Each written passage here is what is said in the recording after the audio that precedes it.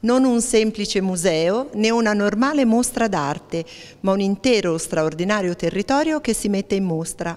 È lo scopo del progetto di valorizzazione del patrimonio culturale locale intitolato Capolavori in Valtiberina tra Toscana e Umbria, da Piero della Francesca a Burri e la battaglia di Anghiari promossa da Ente Cassa di Risparmio di Firenze Regioni Toscana e Umbria, da domenica 16 giugno fino a domenica 3 novembre l'iniziativa mette in rete un intero sistema coinvolgendo diverse competenze e professionalità.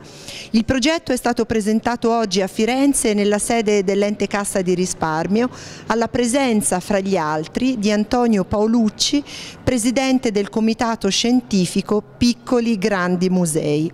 È proprio un percorso attraverso luoghi che si chiamano Borgo San Sepolcro, Anghiari, Città di Castello, cioè la patria di Piero della Francesca, di Raffaello di Leonardo da Vinci. Tra le opere proposte la Tavola Doria, che raffigura una scena dell'affresco di Leonardo dedicato alla battaglia di Anghiari e che per la prima volta viene esposta nel centro medievale presso cui avvenne lo scontro.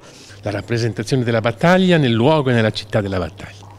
I visitatori avranno inoltre la possibilità di usufruire di itinerari enogastronomici e dell'artigianato, attività per famiglie, laboratori per bambini, tour in pullman, pubblicazioni ad hoc, oltre ad uno speciale pass con sconti e facilitazioni in 35 musei ed in oltre 80 esercizi commerciali.